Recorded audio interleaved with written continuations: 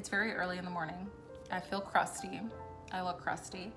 But that's because I'm about to start doing plant chores. So I have a ton of stuff to do today. Um, and I thought I would take you along with me while I do those things and also answer questions that I got from TikTok. Um, well, I'm doing stuff. So I have stuff to do outside and it'll be kind of loud outside because it's trash day. So I'll probably do a voiceover for that part. Um, and I'm gonna start by writing down all of the things that I need to do while I drink my coffee. Um, if you wanted to know what I drink in the morning, I have been making cold brew concentrate myself. And then I mix in vanilla oat milk by Planet Oat. Um, I never heard of them before. I just picked it up at the grocery store. Um, and then I have this creme brulee creamer by Silk. Um, and yeah, if you see the quality of the video change like during the course of the video, that's because I'm on my iPhone right now because my camera's dead. So once my camera charges, I'll be using my actual real camera that I use for filming. Um, but yeah, I'm gonna start with writing down everything that I need to do because I think that'll help me focus a little bit more. Um, but I'm definitely gonna start with all the stuff that I have to do outside, which is repotting my huge calathea medallion, which if you haven't seen that, I did a house plant tour video um, and it's in there. I got it from Walmart. That's the big like major thing that I've been needing to do. And then my outside plants have just been looking really crusty. Like they've been growing, but there's a lot of like dead leaves that I just haven't picked up um, that I need to clean up. And I'm gonna do that today. And I'm taking you along with me and answer questions from TikTok. Um, so yeah. So my initial thought process when getting ready to do this video was that I would actually be able to do plant chores and pick up my phone and read the questions. However, I didn't think about how messy um, everything was gonna be, so I'm opting to do a voiceover instead for this Q&A while I am doing plant chores. And I'll explain a little bit about what I am doing and answer questions. First chore of the day is gonna be to make a new soil mix. So I'm experimenting a lot with different soil mixtures just to see what I like and what my plants like. So I mixed in some old leca. Well, it's not old, but I had already prepared it maybe like two weeks ago. So it's already cleansed and soaked and everything. And then some perlite. Make sure you wear a mask with perlite. Don't be like me. And then some orchid mix. Um, and when I got this, I swear it said orchid bark, not orchid mix, because I was I wanted to get bark, but then I didn't get bark and I got the mix. Um, but anyways, it's fine. And then I am just mixing in some garden soil as well. So I'm gonna test this out on a few of my plants and see what they like. Now we're gonna dive into the first question. This is from R. Treaky. I hope I said that right. They asked, what are some of the plants that first got me into the hobby? So my very first plant was a peace lily in 2017. Um, and the story behind me even getting my first plant was that I actually wanted to get a fish for my 25th birthday. Um, and I told my mom about it and she said, well, what if you got a plant? And I said, okay, I could try that out. And now I have over 200 uh, house plants. Um, so the peace lily was my first plant, and then I got two golden pothos. They were huge and gorgeous, and then I had a snake plant. I feel like those are the classic starter plants, and I always love them. What you're seeing here is me cleaning up my outside plants. So I have my philodendron hope outside, and I'm gonna answer a question that directly relates to my philodendron hope. Um, and then I have some elephant ears, a tradescantia, and I think a baby spider plant. Um, and I'm just cleaning up the leaves and cleaning out the area because I kind of have neglected it. Um, and it just needs a little spruce up and some watering. So this next question is from Hey Foxface. They asked how to get rid of thrips. So when I initially saw this question, I was trying to think back to if I ever had thrips because I feel like I would remember. I have dealt with spider mites and fungus gnats um, and things of that nature. And I've had mealy bugs before. But I didn't realize until I was thinking about my philodendron hope that I did have thrips and I just didn't know what it was at the time because it was something that I'd never seen before on my own plants. So what I did specifically for this plant was I gave it a, uh, an alcohol and water, like diluted alcohol treatment. I used 91% alcohol, which they say you're supposed to use less, but that's what I had on hand. I mixed up the mixture in a spray bottle, sprayed down all of my leaves, and wiped it with a paper towel. I didn't use my regular rag that I usually use when I'm cleaning leaves because this was kind of for a different situation. And then I also um, saturated the soil with um, a neem oil mixture, gave it a shower, like did all this stuff, isolated it for two weeks and then they were still there. So I decided to kick this plant outside into my backyard and I cut off the leaves that were too far gone, gave it a, another treatment of the alcohol solution and the neem oil in like in the water. Um, and I've just left it outside and I feel like the Texas sun has burnt those pests to a crisp which I'm thankful for because the plant is thriving now. It's given me five new leaves um, this summer alone, which it was kind of dormant. It wasn't growing really at all indoors. It loves it outside. Um, so I'm going to keep it out there for as long as I possibly can. And yeah, that's the only plant, knock on wood, that uh, I've had thrips on.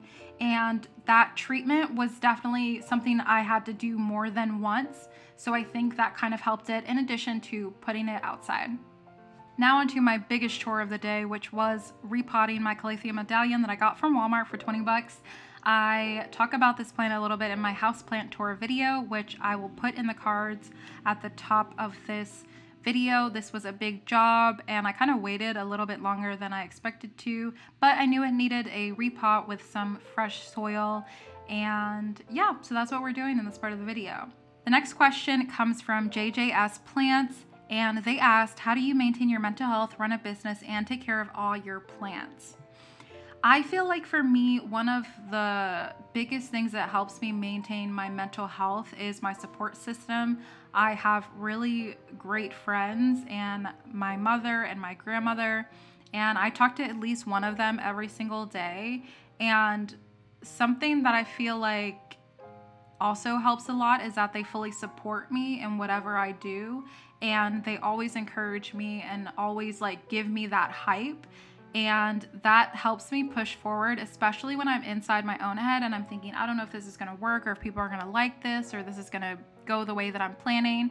They're there to really encourage me and help me realize that i literally can do anything i want and that type of support system i feel like is one of the reasons why i am where i'm at today i always have people around me that are super supportive in what I'm doing, but also aren't afraid to call me out on my shit, which I feel like you need a balance of both. And I have that in the people in my life.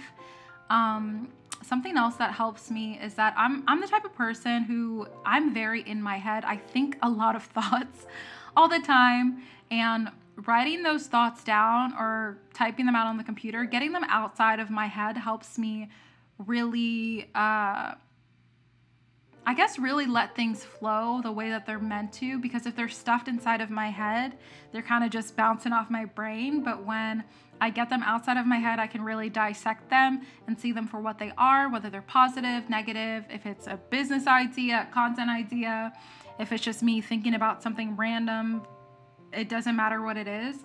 Getting it outside of my head helps a lot. Like helps a lot.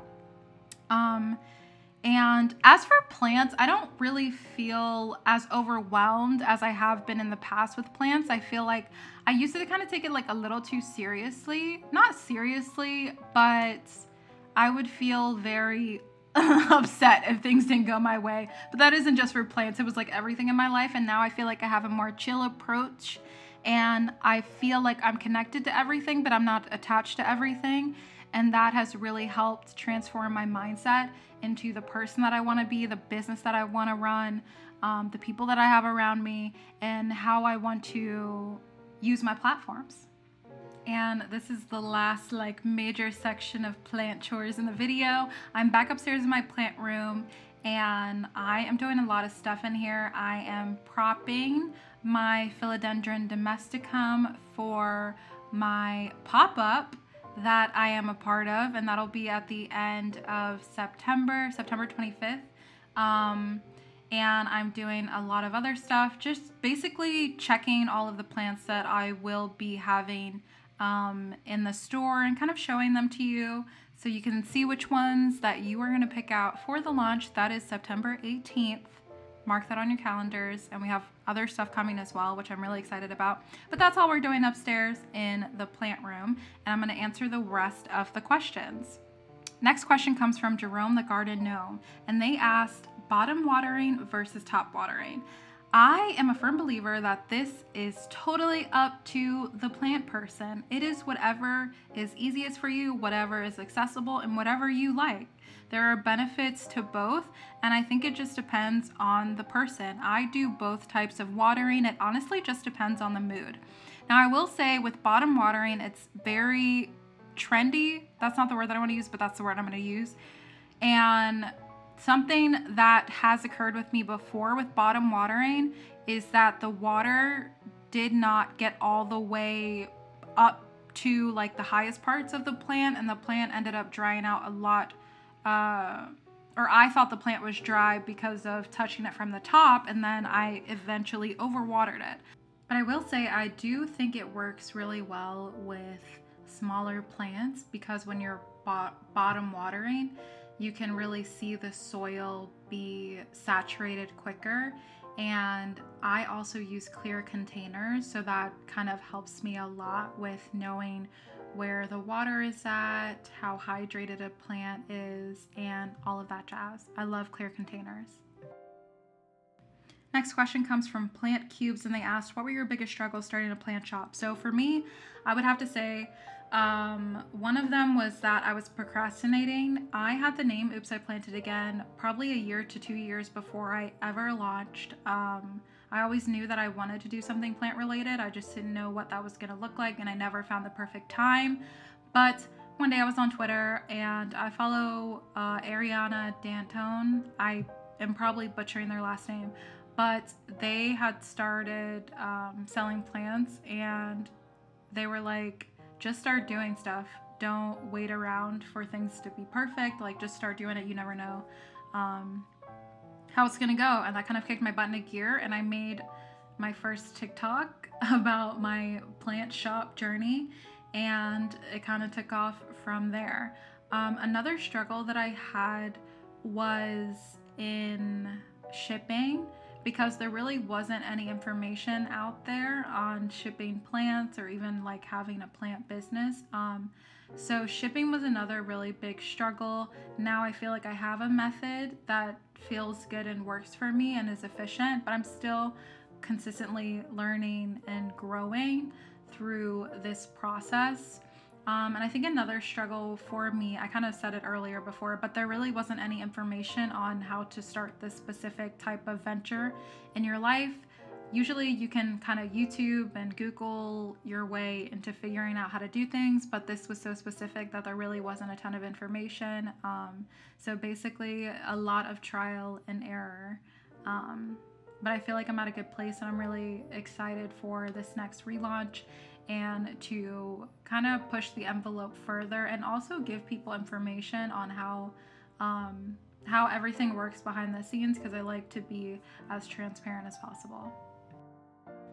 Next question comes from URMOMLOLZ1 um, and they asked, What are your tips for starting a plant shop and how many plants should you have to start? And that they want to start one this year. My first uh, tip would be to just start. Don't think too much about it because if you're like me and you think about every single thing, then you're gonna get you're gonna procrastinate until everything's perfect and nothing is ever gonna be perfect and then you know you won't put your stuff out to the world and somebody may you know need that thing that you have that special spark that you have um i would say me i really like naming things so like the name gets me hype and gets me excited to do other things. So once I had the name Oops I Planted Again, when I first even had it, I got like the Instagram, I bought my domain, um, and I got the name on all social media platforms so that it's mine. Um, and then what else? I would say propagate and grow as many plants that you feel comfortable with managing.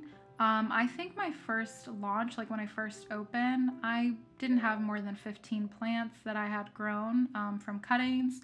and that was really easy for me to maintain and manage and work with shipping um, and I didn't really promote my business that much when I started. I kind of used the built in search feature that was with Etsy. Um, so I do like Etsy for that, and I feel like it was a good start, even though I'm moving to my own domain with Oops I Planted Again. Um, so that's all my tips that I would say. Just start, um, work on what feels comfortable, like the amount of plants that you feel comfortable comfortable with managing, and then also with like having those social media platforms, I would say pick one that you feel the most comfortable with and just start showing up as yourself. I picked TikTok because I love making videos and I feel like it's easier on TikTok to be seen by a vast amount of people than other social media platforms quickly. Um, TikTok has been the pretty much the number one reason why I've been able to have so many sales on Etsy. Um, and I would definitely say that whatever you feel the most comfortable doing is the platform where you should focus on. Not saying that you can't focus on a bunch of platforms, but it's just easier to like put most of your energy into the one where you feel like you can show up on a consistent basis. And you don't actively have to promote yourself like all the time because I really didn't. I just talked about my love of plants and I would share stuff from the plant store occasionally. Um, but I really just engaged with my audience and I just shared my love of plants. I made funny videos, informational videos, answering questions, um, things of that nature. So that's what I would say. This last question is from Gorgeous Cancer and they asked, What's your opinion on variegated plants and their price? Um, I actually answered this question a little bit on TikTok a while ago.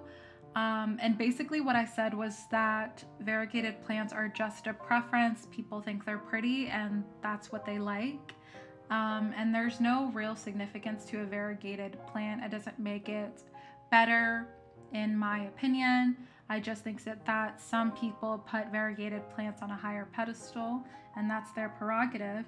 And as far as price go, it's really about the market that people are willing to pay the price for a plant and the people who grow the plants and are, you know, sending those plants out to shops and nurseries and all that jazz, those people ha- mark up the price because they have to recoup their initial investment. That's what I'm trying to say.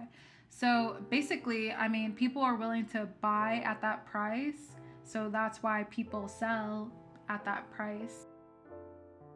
I want to thank you so much for watching today's video and if you have any other questions at all drop them in the comments below and I will see you in the next video.